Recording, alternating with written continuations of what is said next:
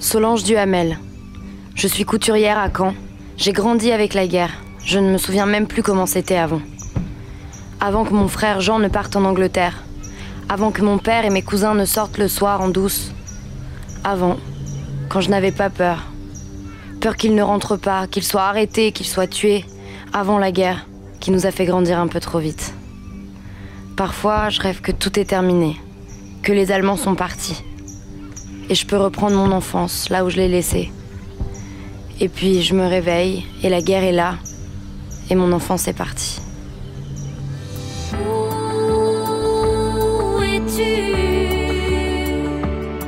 Lily sans sommeil